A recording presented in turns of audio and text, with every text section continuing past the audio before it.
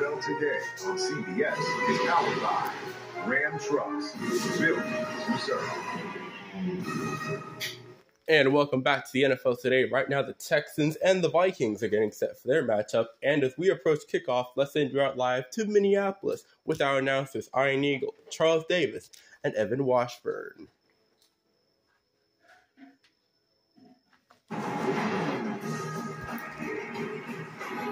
JB, welcome to US Bank Stadium. Skol Nation is ready for a battle of two 2-0 teams, the Texans and Vikings. In year three, as head coach Kevin O'Connell has a squad playing an exciting brand of football, and he's doing it with Sam Darnold at quarterback. Now in his seventh season, it's been a career revival for the number three overall pick back in 2018. Hi, everybody. Welcome to the broadcast booth. Ian Eagle along with Charles Davis. Evan Washburn will join us down on the sidelines. This one should be highly entertaining. Sam Darnold, it feels like he's right at home in Minnesota. How has it worked? Why has it been so successful so far? Because it's been a pairing of a team that actually wanted him and him being in a place that he knew would work for him. This team evaluated Sam Darnold, knew the success wasn't there, but they knew the talent was there, the elite arm, the athleticism, a guy who's been through some adversity and bounced back, and a guy who can throw the deep ball. And they got a guy who can go out and get the deep ball with Justin Jefferson. And we saw that last week against San Francisco. A renaissance in the early going for Sam Darnold. It's working well. He's playing for his fourth team. He's been comfortable, confident. Question marks early in the week regarding his number one target, Jefferson. He is in there today. We get more right now from Evan. Yeah, and a sigh of relief for Sam Darnold because a week ago on this field, Justin Jefferson had to be helped off by athletic trainers. Early in the fourth quarter, suffered a right quad injury when he collided with Fred Warner walking downfield.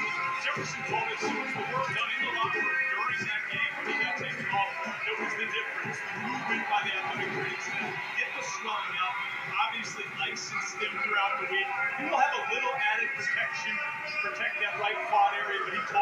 no limitations on his game for this one. All right, Evan, Texans are picking up right where they left off last season. One of the biggest surprises in the NFL last year. Not so much a surprise this year. Big test today for one CJ Stroud. No longer can you say one of the top young stars. It's just one of the stars of the NFL. You're digging into the strategy behind Stroud against this Minnesota defense. So little Queen's gambit here, right? CJ Stroud, quarterback.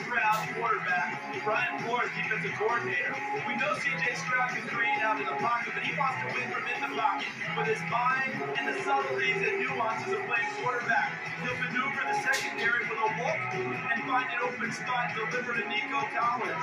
On the other side, Brian Flores, he wants to use his mind to affect the quarterback. Hey, we're showing a lot of pressure. Now we escape. Does he throw it? Where's it open? Where do you go?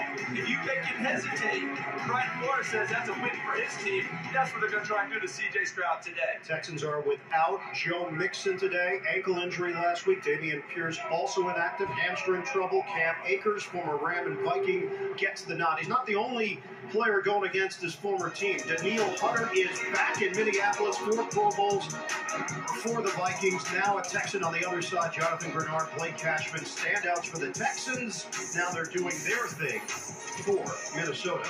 Countdown to kickoff continues from the City of Lakes. Nine teams are undefeated in the NFL. Two of them are going head to head today, right here on CBS.